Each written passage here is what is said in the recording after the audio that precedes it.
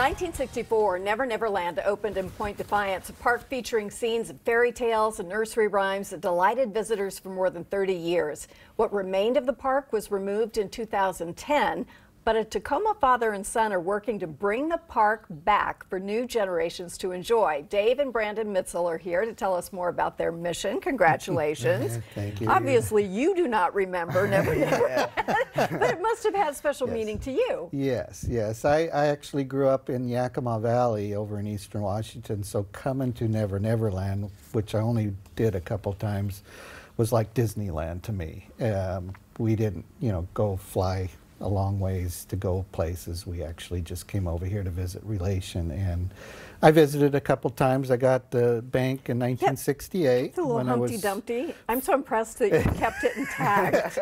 Well, I've marked on Humpty it a little bit. Humpty Dumpty has not fallen apart. No, no, but we. But lots of people love this park, and it was sort of a, you know, one of these things in the Northwest that when it Mm-hmm. went away, people were, you know, pretty sad about that. What happened to the existing structures and the figures that were there? Well, the structures were all demolished in 2010, um, and uh, a lot of the figures were stored. They closed in 2001, and they were stored in the pagoda, which is at Point Defiance, in the basement. Unfortunately, in 2011, there was a fire, and it destroyed many of the figures. It melted, most of the figures melted, and um, they then moved them to a different site, and that's where they're at now. Yeah.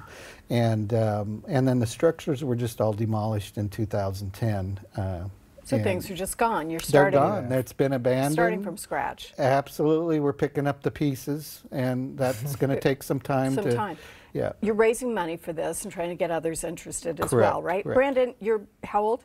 14. 14. So you're like negative years away from this. Why is this important to you?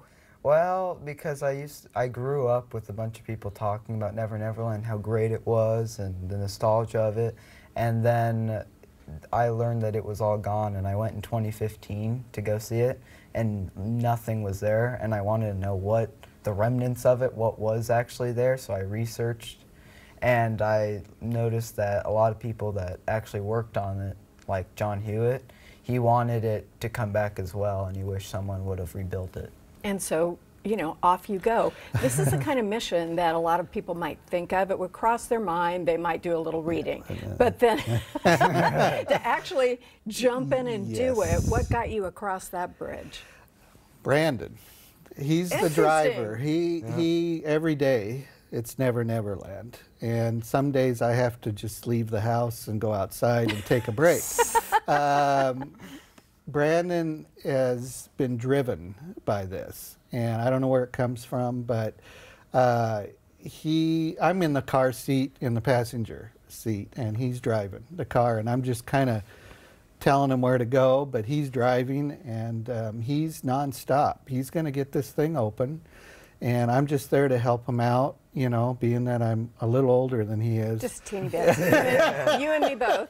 So, Brandon, you, you are going to be competing against, you know, giant roller coasters and people going to Disneyland and that sort of thing. So, what is your vision for what this would be if the park reopened?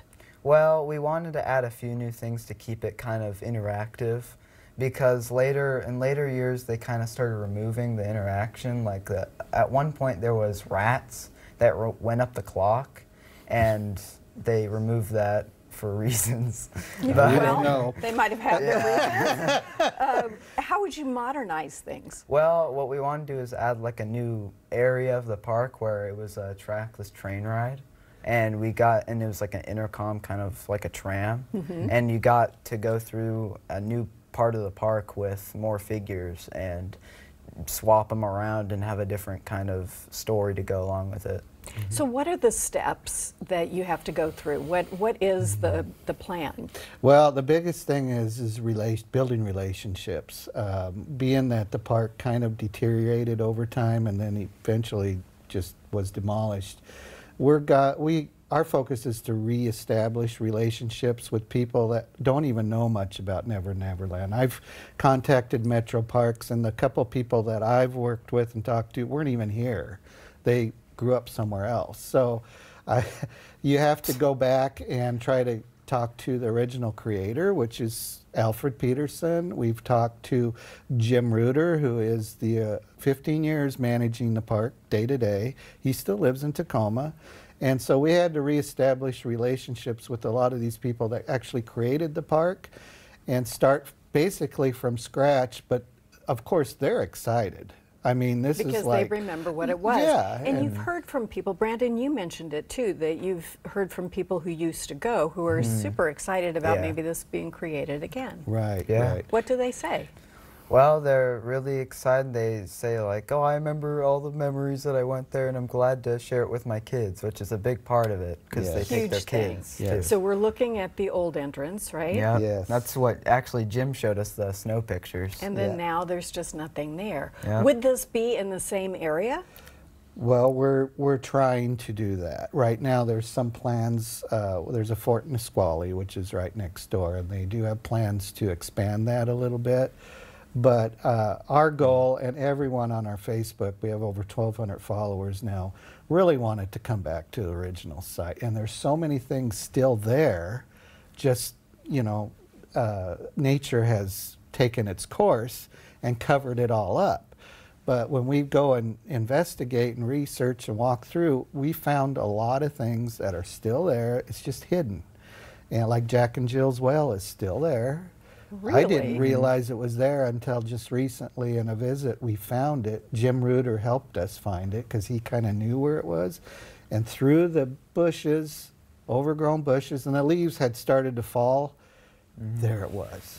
And it was just in, he was so surprised to sounds find it. Yeah. So, You guys have to keep us posted on how this Yeah. goes, but I love the father and son and the, the sort of, well, I won't say it's quixotic because I don't think it's something that can't be Right. done, but it'll be really interesting to, Right. to see how this mission goes. We Thank you. you. Up next, author Andrew Marble shares about his new book that covers the life of General John Shalikashvili and what we can all learn from his unusual life.